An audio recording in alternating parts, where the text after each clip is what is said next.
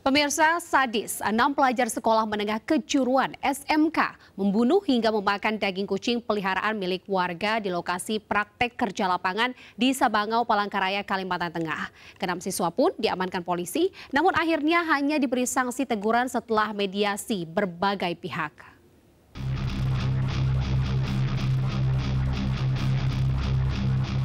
Enam orang siswa SMK GKE Agrikarya Bakti Tumbang Lahang, Kabupaten Katingan, Kalimantan Tengah ini diamankan polisi di Polsek Sebangau, Palangkaraya, lantaran membunuh seekor kucing peliharaan milik warga di lokasi praktek kerja lapangan. Ironisnya, tak hanya menganiaya, keenam siswa tersebut juga memasak daging kucing dan memakannya. Kasus ini terungkap setelah foto bagian tubuh kucing viral di media sosial dan mendapat kecaman dari komunitas pecinta hewan. Keenam siswa kini diperiksa lebih lanjut. Polisi juga memanggil pihak sekolah, pemilik kucing, orang tua siswa dan komunitas pecinta hewan untuk dilakukan mediasi. Hasilnya, keenam orang siswa tidak ditahan, namun diberi sanksi teguran dan sanksi sosial memberi makan kucing di jalanan selama tiga bulan.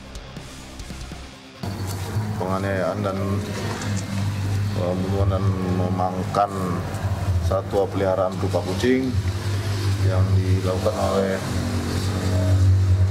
sejauh ini ada enam orang siswa.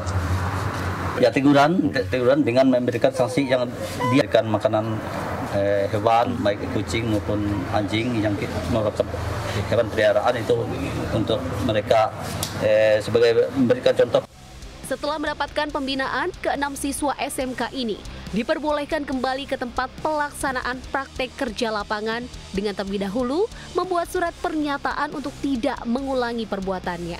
Dari Palangkaraya, Kalimantan Tengah, Ade Sata, iNews melaporkan.